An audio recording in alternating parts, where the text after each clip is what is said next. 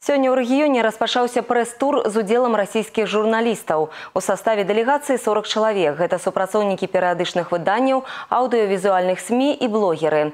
У праграме чатырохдзённага візіту наведвання прамысловых і сельскагаспадарчых прадпрыемстваў, знаёмства з культурным і турыстычным патэнцыялам Гомельшчыны.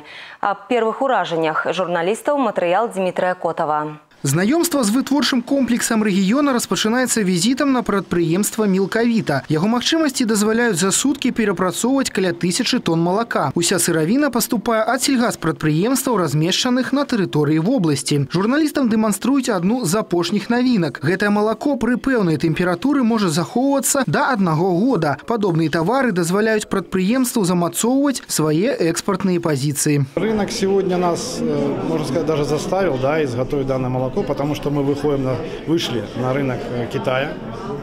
А китайские потребители, вы понимаете, логистика пока доедет, пока постоит в магазине, естественно, они просят, чтобы не менее года. Вот мы на него вышли, выходили на него два года, потому что для того, чтобы получить продукт со сроком один год, надо, чтобы оно выстояло два года.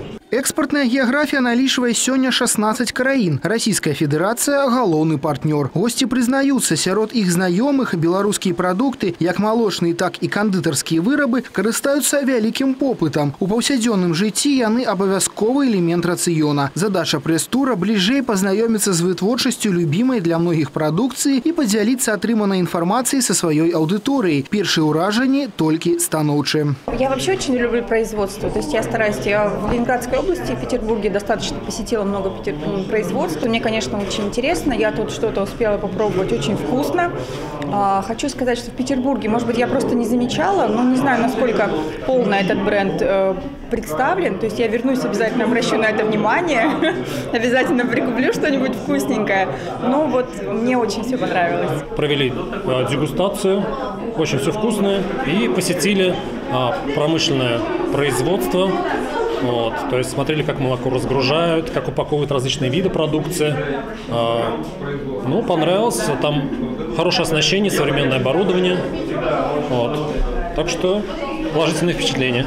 У другой палове дня журналісты сустрэліся з кіраўніцтвам гомельскага аблвыканкама. Дыялог атрымаўся вельмі інфарматыўным. На працягу амаль гадзіны прадстаўнікі расійскіх СМі актыўна задавалі пытанні. Іх цікавілі ў першую чаргу развіццё эканамічных зносінаў паміж дзвюмя краінамі, турыстычны патэнцыял рэгіёна, стан пацярпелых у выніку аварыі на АЭС тэрыторый. Чарнобыльская тэма ўвогуле была адной з самых папулярных падчас сустрэчы. Заўтра журналісты наведаюць палескі радыяцыйна экалагічны заповедник и смогут деталёво ознакомиться с проводимой работой. Очень важно, чтобы молодое поколение знало про эту аварию и относилось, скажем так, серьезно к тому, что произошло. Это действительно большая трагедия и для России, и для Белоруссии, и для Украины.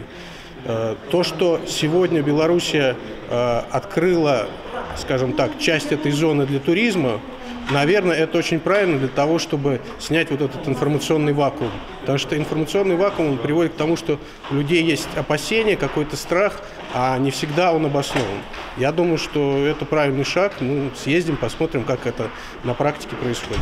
У праграме чатырохдзённага візіту таксама наведвання прадпрыемстваў мазырскага і жыткавіцкага раёнаў. Да таго ж гасцей пазнаёміць з работай рэспубліканскага навукова-практычнага цэнтра радыяцыйнай медыцыны і экалогіі чалавека, а таксама правядуць экскурсіі па найбольш знакавых турыстычных і культурных аб'ектах рэгіёна. Дмітрий Котаў, Валерый Гапанько, тэлерадыё, кампанія Гомель.